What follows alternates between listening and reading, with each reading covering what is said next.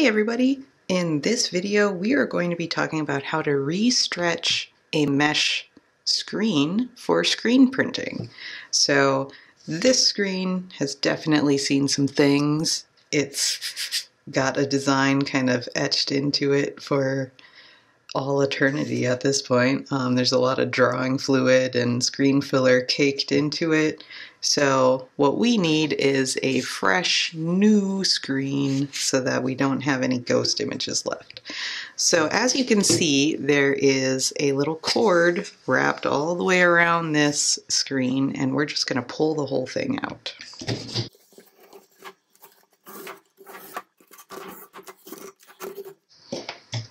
From here we can remove the screen.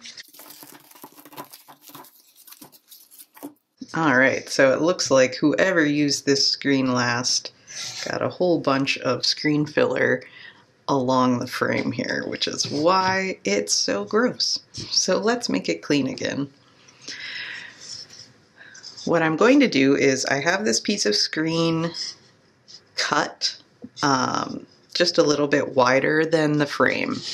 And I have a couple tools that I'm going to use to put my cord into the frame, um, into this little notch here. So this is a traditional tool for kind of pushing the cord into the frame. Um, I actually use the end of it a lot to kind of get the corners in because it's kind of smaller and easier to work with. But the best tool I have is this guy. It's a little rotary. It's got a skinny side and like a little notched side. And this makes it go in really easily. So it's really actually kind of enjoyable to do it not annoying. If you don't have any of these tools, you honestly could just use any small instrument like the back end of a fork or something to, or a butter knife to push the cord in. Whatever will fit in there will work just fine. So what I'm going to do is reuse this cord here and I'm going to gently kind of set it into the notch of the frame just to kind of hold it in place.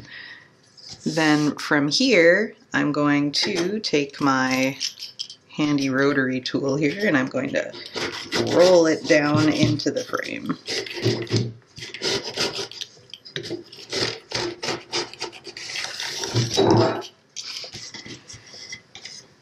I'm going to rotate the frame so that I can do the other side here.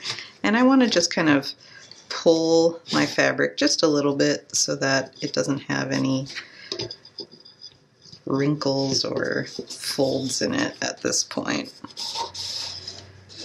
I don't need to pull it super tight because once the cord goes into the frame, it's going to stretch it for me.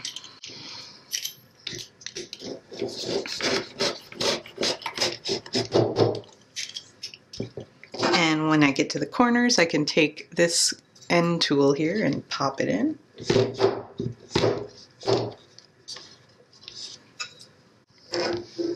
Now, when I get to these last two sides, I'm going to want to start pulling my screen kind of out as far as I can here, just to get rid of any wrinkles as I start laying the cord.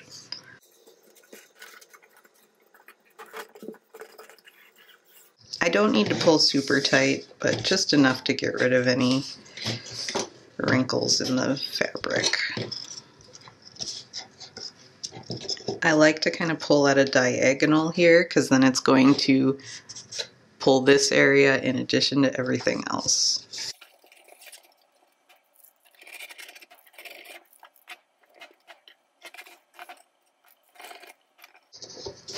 Alright, and my cord is just a little bit short, so I have some extra that I will use in place.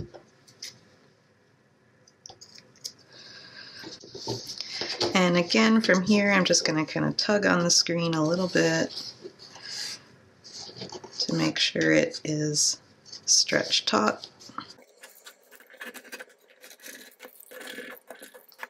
And I can use my tool again in the corner and at the edge of this cord.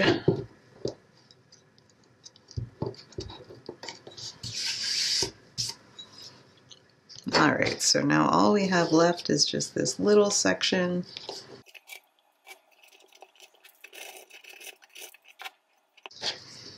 All right, so our cord is in the frame. We have our mesh stretched, so it's nice and tight, it's nice and clean. Um, what we can do at this point then is take our scissors and just trim off this excess mesh all the way around.